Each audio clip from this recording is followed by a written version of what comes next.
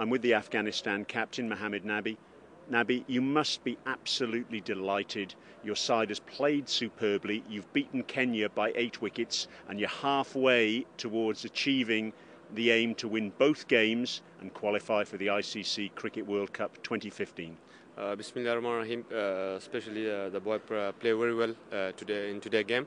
Uh, especially the fast bowler Hamid Hassan Shapoor and uh, the leg spinner Shinwari bowled very well in today's match and Kenya batting collapse and in 90 runs total and uh, it's a, big achievement for uh, for Afghanistan cricket and also for Afghanistan national and also uh, the supporter come here and also support our team and it's that's a very good and very nice. Inshallah, we will try hard more to, uh, uh, to our next game to play uh, positive and uh, we won and uh, to go to the direct to what 15 World Cup.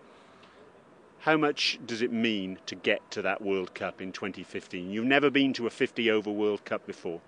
Uh, it's a it's a big achievement for the Afghanistan cricket uh, to we will qualify for the uh, mm, for the 15 World Cup. This is our first time uh, if you qualify for the 15 World Cup and for the and it's a big achievement for Afghanistan and also for Afghanistan cricket ahead of Friday's game, what is the feeling? Is it nervous? Is it excited? How does the dressing room feel? It's uh, the dressing room. Uh, it's normal because the, uh, the two games are uh, very easily win for Afghanistan, and the boys are very relaxed. And uh, inshallah, we will try hard. they are not relaxed because we one game more left if we win that game, inshallah, we will celebrate. Uh, also, uh, the team will be celebrate, and also the whole nation will be celebrate for the for that uh, that win.